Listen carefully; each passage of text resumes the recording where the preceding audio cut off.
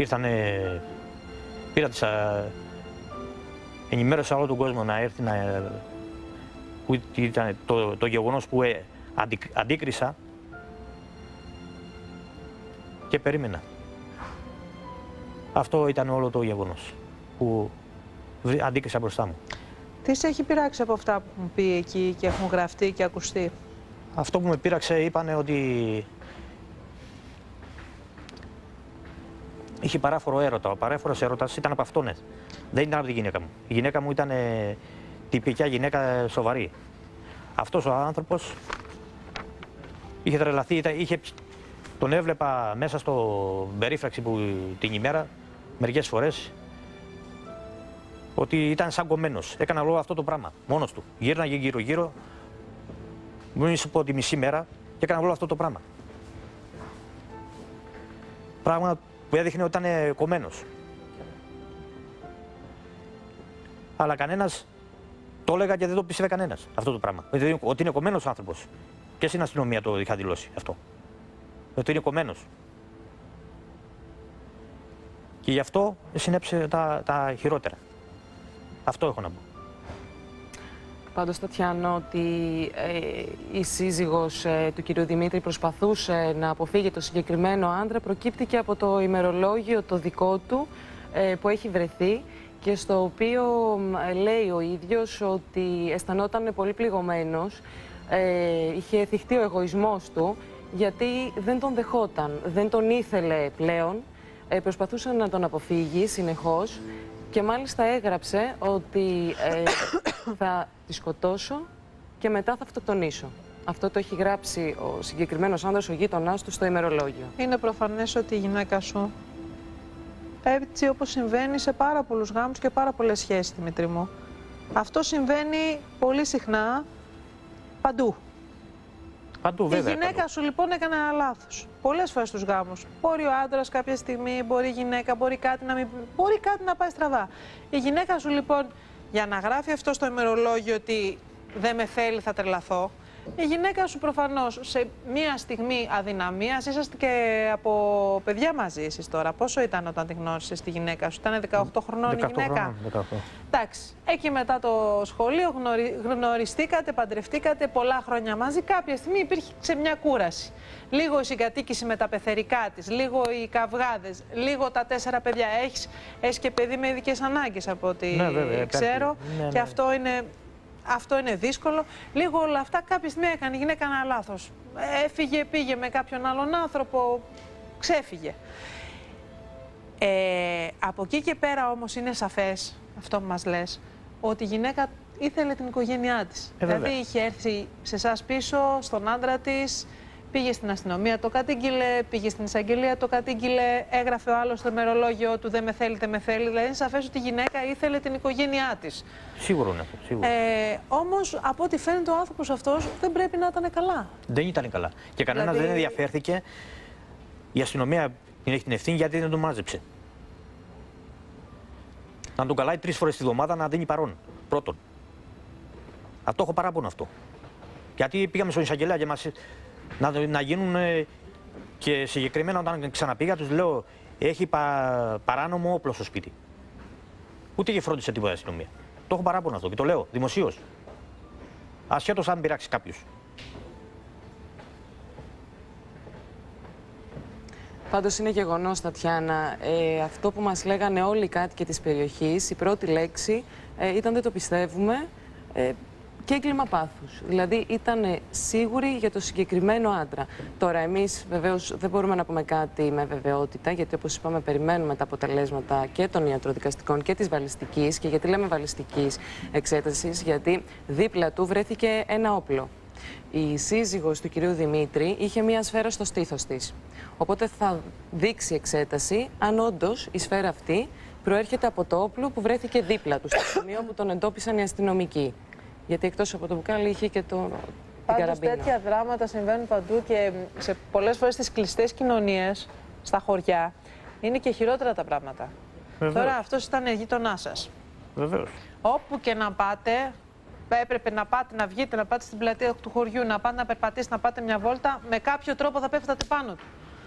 Ε, βέβαια. εκεί είναι το σπίτι σας, εκεί είναι τα παιδιά σας, εκεί μεγαλώνατε και πέφτατε πάνω στον άνθρωπο που ήταν γιατί πηγαίναμε σε να μια πάμε στο- μεγάλη στο πόλη. Λεωνίδιο Δεν είναι έτσι, χάνεσαι. Και έπρεπε να δηλαδή, περάσουμε μπροστά από την πόρτα του. έπρεπε να περνάει μπροστά από την πόρτα σου ο άνθρωπος που είχε έστω και για ένα μήνα κλεφτεί η γυναίκα σου. Αυτός την ποθούσε, την έβλεπε όμως. Δεν μπορούσε, δηλαδή δεν υπήρχε. Είναι και δύσκολο να ξεφύγεις. Σε ένα χωριό είναι δύσκολο να χαθείς. Ένα χωριό 50 κατοίκων. Είναι 50 κάτι και είναι δύσκολο. δηλαδή μικρό. είναι πολύ δύσκολη αυτή, αν θέλεις, η, Πολύ, βέβαια. η συμβίωση εκεί. Είναι δύσκολο να βλέπεις τον άλλον απέναντι συνέχεια.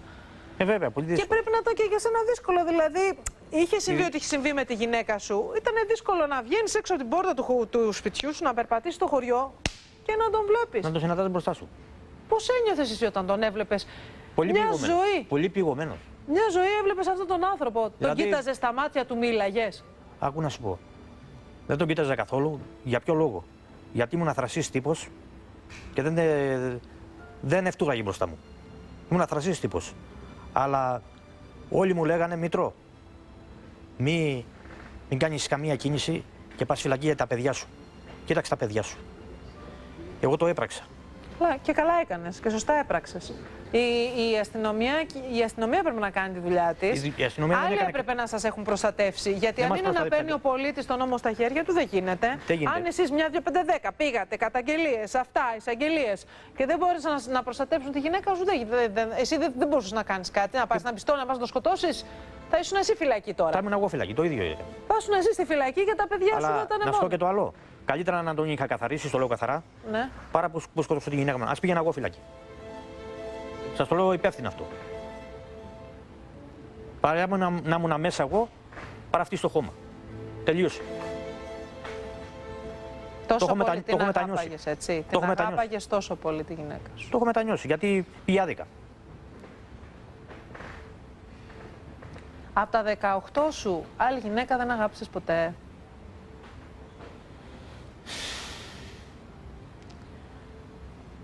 Άκου να δεις, ε, αυτό που με ρωτάς,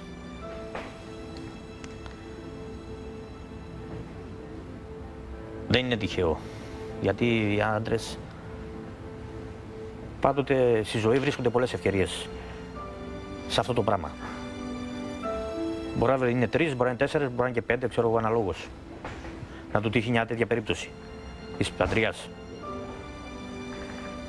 Είχε τύχει, τύχει και άλλοι, αλλά αντιδρούσαν ε, διάφορα πρόσωπα μέσα μέσα στην οικογένεια και δεν αποφάσιζαν. Και εγώ δεν ήμουν ισχυρό μου όμως άνθρωπος. Ναι. Να...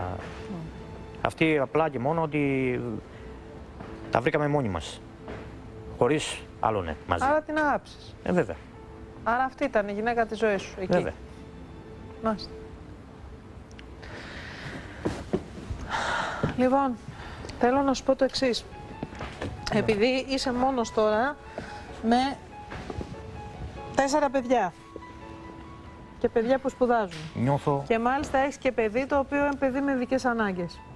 Ξέρουμε ότι ο Δημήτρης εδώ, όπως οι περισσότεροι Έλληνες άλλωστε, αλίμονο, δεν έχει ο άνθρωπος καμία βοήθεια από το κράτος. Τη γυναίκα του είχε που λίγο φρόντιζε το μεγάλο το παιδί, το οποίο δεν γίνεται χωρίς να υπάρχει κάποιος να το φροντίσει. Ξέρουμε τι θα πει άνθρωπος ο οποίος είναι άνθρωπος με ειδικές ανάγκες. Είναι ολομόναχος, παλεύει μόνος του, λίγο με τα ζώα, λίγο με ό,τι μπορεί ο άνθρωπος, ό,τι μπορεί κάνει για την οικογένειά του. Έχουμε πάρει γιώτα μου, το Έχουμε- διοικητή του ΟΓΑ. Ακριβώς. Τι μας είπε, Μας είπε ότι θα κοιτάξει το θέμα ε, του κυρίου Δημήτρη, θα προσπαθήσει να κάνει ό,τι μπορεί. Καταλαβαίνετε τώρα και ο άνθρωπος ευνηδιάστηκε, είναι πάρα πολλές υποθέσεις που υπάρχουν. Το εξηγήσαμε όμως την κατάσταση, το εξηγήσαμε ότι είναι δύσκολα για τον κύριο Δημήτρη αυτή τη στιγμή. Έναν Ναι. άνθρωπο ο οποίος δουλεύει όλη τη μέρα, έχει τέσσερα παιδιά, χρειάζεται την ανάγκη αυτή. Πραγματικά και μας είπε ότι θα κάνει ό,τι καλύτερο μπορεί προκειμένου να έχει ένα επίδομα για το παιδί αυτό Ε, που παιδιά, ένα αντιμετωπίζει λεπτάκι δυσκολία. τώρα. Είναι δυνατόν ένα παιδί τώρα, μεγάλο παιδί με ειδικές ανάγκες, ένας πατέρας μόνος του, η μάνα δολοφονημένη και να μην φροντίζει το κράτος, η πρόνοια κάποιος να στηρίξει λίγο αυτόν τον άνθρωπο εδώ πέρα, το χαροκαμένο, το μόνο. Λοιπόν, περιμένουμε από τον κύριο Βεργίνη, το διοικητή του ΟΓΑ. Περιμένουμε και μ, θα ασχοληθούμε πάρα πολύ με αυτό το θέμα. Θα, μ, Θα το επενθυμίζουμε συχνά. Περιμένουμε να βοηθήσει αυτή την οικογένεια. Διότι στο κάτω-κάτω δεν, ζη- δεν ζητάνε να κλέψουν κάτι οι άνθρωποι, ούτε ζητάνε ζητιανιά.